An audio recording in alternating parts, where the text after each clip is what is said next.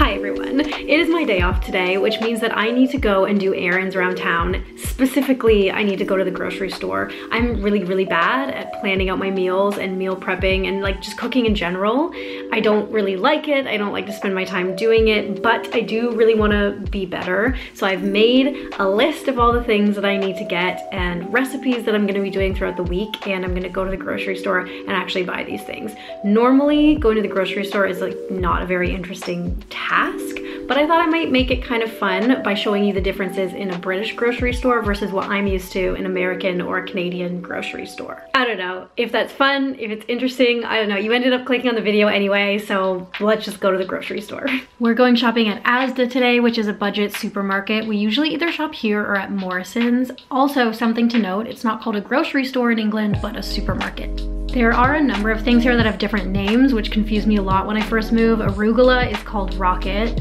Eggplant is called aubergine. Zucchini is called courgette. The baked bean section in pretty much any supermarket is quite big, and that's because baked beans on toast is a popular breakfast food here. I'm sure a lot of you know this, but potato chips are called crisps in the UK. There are a ton of different brands and flavors that are different, including prawn cocktail. Often they'll come in these multi-pack bags where there are a bunch of little bags within a larger bag. Oreos come in packages like this. They taste the exact same though. Instead of pulp or no pulp, the orange juice comes with bits or with no bits. Eggs aren't refrigerated in the supermarket, they're kept on just a regular shelf.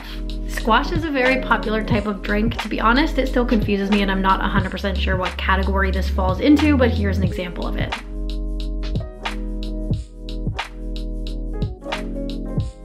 So it is the next day. It got a little bit too dark to keep filming, but I do wanna show you guys some of the things that I got. I'm not gonna show you absolutely everything because that would get pretty boring pretty fast. So I'm just gonna show a few select things that are particularly British or that I think are interesting or kind of different. First thing I wanna talk about is the lemonade.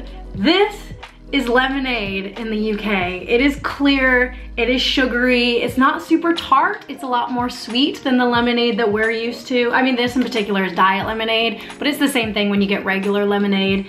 If you want the kind of tart, lemony, homemade lemonade thing that we're used to in the United States and Canada, you have to ask for cloudy lemonade. So I was a little bit surprised when I ordered lemonade in a restaurant for the first time and this clear liquid showed up. One of the saddest things about my life here is that I can't get ranch dressing.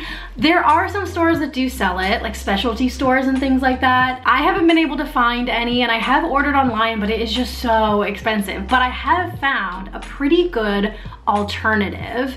It's at Asda where I went. It's Newman's Own Ranch dressing and dip. It's not the same as Hidden Valley, but it is okay. Like it is a good second. I kind of mentioned this earlier in the video, but this is how Oreos are packaged. So this is a twin pack, which means that there's a row here and a row here. The taste is the exact same. I kind of prefer the packaging in the US and in Canada because I feel like it just keeps the Oreos fresher, but like this is fine too. My absolute favorite snack in the UK, Hobnobs. Basically it's a biscuit and then it's got chocolate over the top of it. Is so good for dipping in coffee or just like eating on its own. Pretty much anytime I go to the supermarket, I'll buy Hobnobs. I love them. Another favorite of mine that we get pretty much every time we go to the supermarket is crumpets. This is very, very different than our idea of what a crumpet is in the United States. It's basically like a, like a squishy bread. It's got holes in it, so it's kind of like fluffy and light, and you can just heat them up, like put them in the toaster, anything like that. I do something which is a little bit blasphemous, but I love it. I'll put maple syrup on the top of it, which is definitely the Canadian in me. It is so good. If you haven't tried it, like honestly try it. And last but not least, I found this and I haven't actually tried it yet.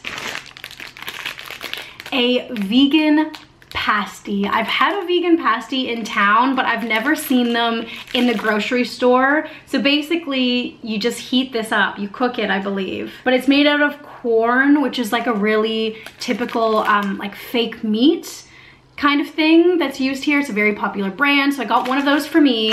And then I got one for Danny, just a regular Cornish pasty with meat in it. If you guys follow me on Instagram, you'll know I'm absolutely obsessed with pasties. Um, pretty much anytime I leave the house, I make an excuse to get a pasty. I love them and they're so good. So hopefully these are also good so I don't have to constantly leave the house to get my pasties. Obviously, we got a lot more things, but I didn't want to show absolutely everything. But thank you guys for joining me on this video and for watching it. I hope that it was interesting or informative or that you learned something or at least just enjoyed it. If you haven't subscribed, then please make sure you do and like this video if you liked it. And I'll see you in the next video.